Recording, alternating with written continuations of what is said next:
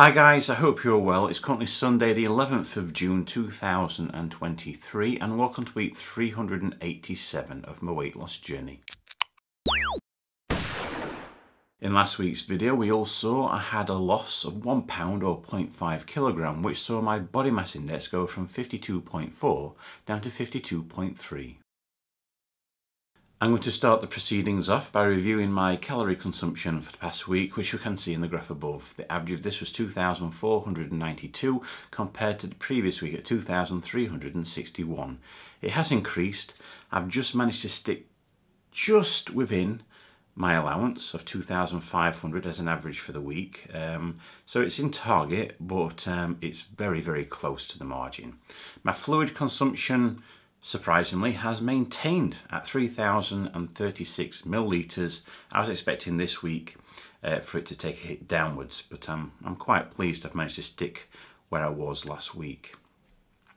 My activity levels, we all know I like to monitor my step count for this. This can be seen in the graph above. The average of this was 7,264 compared to the previous week at 6,847. Thankfully, the trend continues to go upwards it's been a very busy start to the week and it pretty much remains so for the rest, all week long. So I'm pleased I managed to fit in those few extra steps um, but I wasn't really able to do much outside in my personal time because, well, long days. Um, so there we go.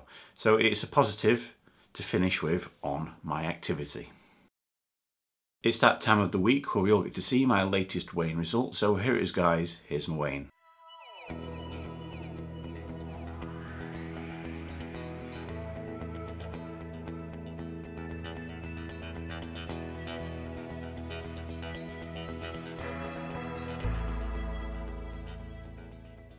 I weigh 178.9 kilograms, which is 394.5 pounds, or 28 stone 2.5 pounds.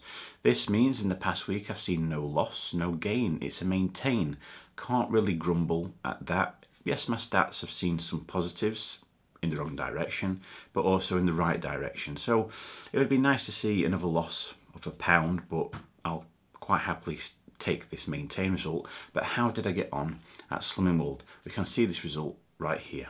At Slimming World this week, I also saw a maintain result.